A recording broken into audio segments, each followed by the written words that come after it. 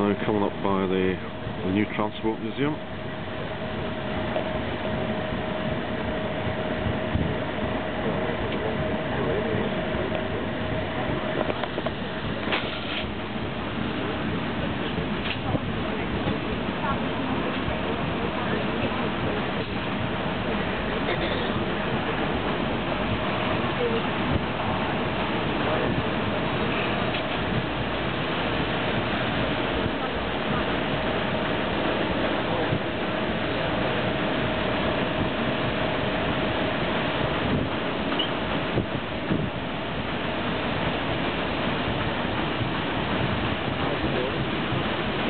And here we are, where the Kelvin flows into the Clyde.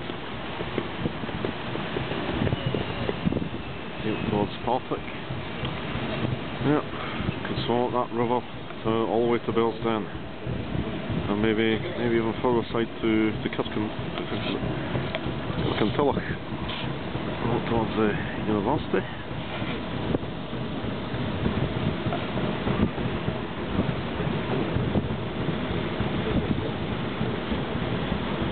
Oh, I can see an old slipway there.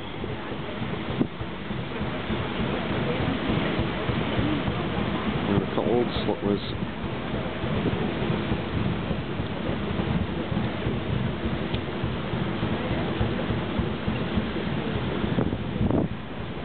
Right, these flats, that's the flats there that uh, were built on the site of the old Meadowside Granary. And I've got to admit, a much more attractive, uh, well, much more attractive view to that crumbling old granary.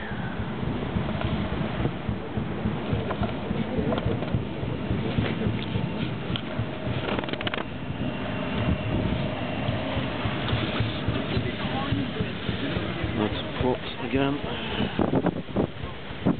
Uh, come up to the BAE systems yard.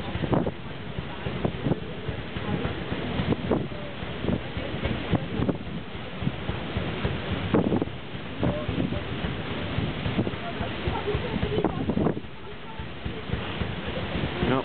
Uh, systems, it was governors, um, because, well, especially on to an older generation of Legions, was Fairfield.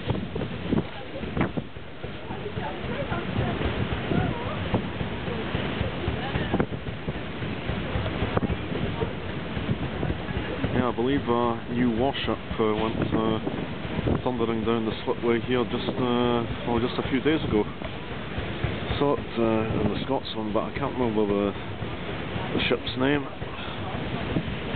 So it might be the last ship to be launched in the traditional manner.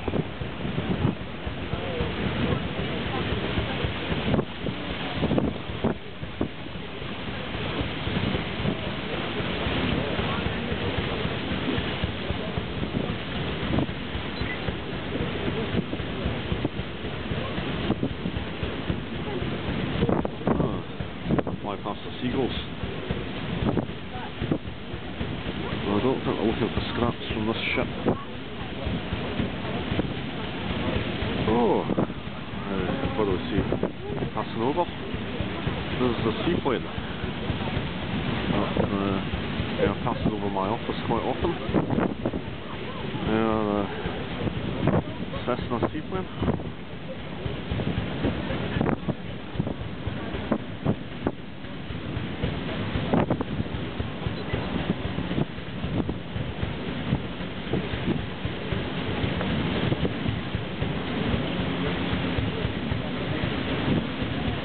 On the starboard or right hand side, we're passing the new housing after the Glasgow Harbour project, which replaced the Meadowside Granary. And on the or left hand side, the EE system yard, which was used this week with the launch of the last of the second class of Type 45 destroyers, the anti-aircraft anti-air warfare destroyers, HMS Duncan. Oh, no, I've forgotten the name yet. The Duncan. Possibly overshadowed by news of the possible cancellation of one of the aircraft carriers and the forthcoming defence review. HMS Duncan was named after Adam Duncan, Viscount Duncan of Camperdown, 1731 to 1804, which the, the Dutch fleet at the Battle of Camperdown on the 11th of October 1797. Well, it's in a few gaps in my commentary there.